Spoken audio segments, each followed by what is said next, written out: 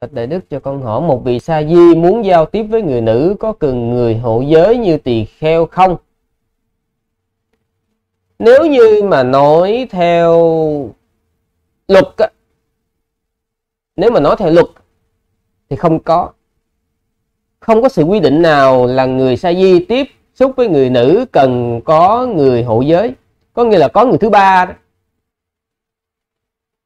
Sư lặp đi lặp lại, sư nhắc đi nhắc lại mong làm sao mà những ai có duyên mà nghe được cái này quý vị làm ơn nhớ về một cái không bao giờ gặp một người nữ không bao giờ gặp riêng một vị tỳ kheo. Luôn luôn cần phải có người thứ ba. Ha? luôn luôn cần phải có người thứ ba. À,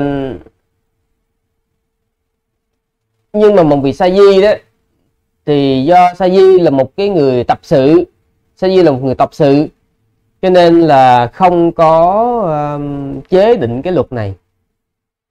Nhưng mà quý vị nên nhớ như vậy ừ, không chế không có nghĩa là khuyến khích làm không chế không có nghĩa là không có không có nghĩa là cho phép làm.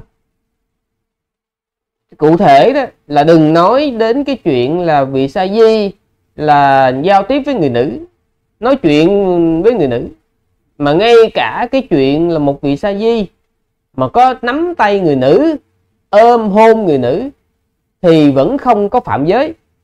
Nhưng mà sư nhấn mạnh, sư nhấn mạnh và nhấn mạnh việc quan trọng phải nói ba lần. Không cấm, không phạm giới, không có nghĩa là được phép làm. Nhớ, không có nghĩa là quý vị được phép làm.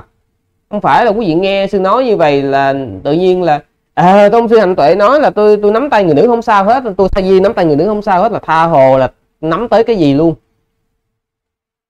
Không phải như vậy.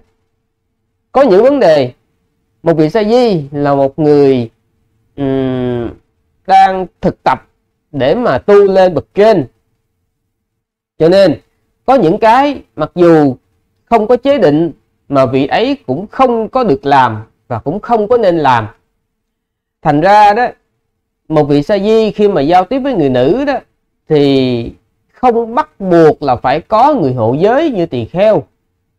Nhưng mà không nên tiếp xúc riêng với người nữ, với riêng một người nữ. Có nghĩa là một nam, một nữ gặp riêng thì không có nên. Ha?